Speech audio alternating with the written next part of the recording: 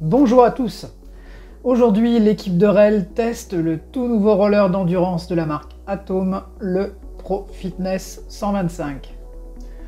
Côté design, Atom a opté pour une combinaison de couleurs plutôt réussie, alliant le noir, le vert fluo, quelques touches de blanc et l'aspect métallique de la platine.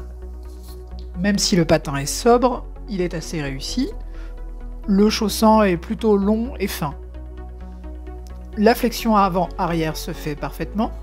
On peut se fléchir facilement et pousser loin sans entrave. Le serrage repose sur une combinaison de lacets sur le bas du pied, d'une sangle sur le coup de pied et d'une boucle micrométrique en bas du tibia. Le lacet coulisse bien mais il faut bien prendre le temps de le serrer. La sangle à scratch maintient le talon calé dans la chaussure même si elle est un peu longue. Elle aurait pu être remplacée par une boucle micrométrique plus large pour gagner en précision. La boucle micrométrique s'est avérée de piètre qualité. Elle a sauté dès les premiers serrages sur l'un des patins. Le serrage a donc des difficultés à se faire correctement et l'on perd en efficacité lors du patinage.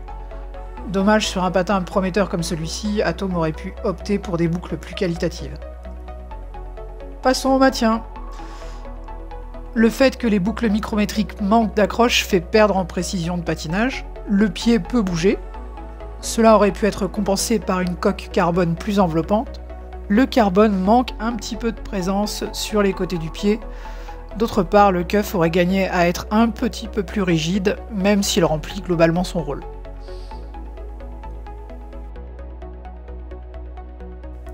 Le chausson du Pro Fitness 125 est globalement assez confortable. L'intérieur du chausson présente très peu de couture et on n'en ressent aucune lors du patinage. Il n'y a pas de semelle de propreté, donc le patin est très proche du pied. La languette est assez fine, mais on ne sent pas non plus la boucle micrométrique. Passons au train roulant. Le châssis Striker Mark II a été développé par la marque française EOSKET. Cette platine possède un double anthrax 165-195 mm. Il est donc utilisable sur de nombreux types de patins. Les parois sont assez épaisses, des ponts de renfort ont été ajoutés sous les points de fixation. Cette platine respire la solidité et la rigidité, toutefois les extrémités restent assez souples, elle est plutôt compacte avec une longueur de 12,6 pouces, soit 320 mm. Elle peut donc convenir à de nombreux gabarits, c'est un bon compromis entre réactivité, efficacité et maniabilité.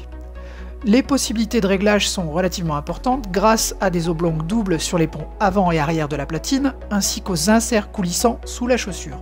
Les roues Matrix sont déjà bien connues sur le marché, il s'agit d'un bon modèle de milieu de gamme pour le patinage de vitesse. Elles sont fabriquées aux États-Unis. Leur accroche est bonne sur sol sec, l'usure est régulière et relativement lente, le plan de joint reste sensible au bout des doigts après une cinquantaine de kilomètres. C'est un modèle polyvalent, plutôt bon pour un patin de série. Concernant les roulements, rien de particulier à dire, ce sont des modèles Luigino Bionic avec 7. Ils sont restés silencieux durant toute la durée du test et la glisse est plutôt fluide. En conclusion, on peut dire qu'Atom avait de sérieux arguments pour proposer un modèle d'endurance vraiment intéressant. Il est proposé à 320 dollars en Europe, un prix très compétitif pour ce type de patin. Malheureusement, les imperfections que nous avons soulignées nous ont laissé sur notre faim. Avec un système de serrage plus efficace et davantage de maintien, le rendement du ProFitness 125 aurait été bien meilleur et il aurait pu être une véritable référence sur le marché. Cette vidéo vous a plu? Abonnez-vous à notre chaîne YouTube ou faites un don pour soutenir l'association sur notre compte Tipeee ou notre compte Paypal. Merci et à la prochaine fois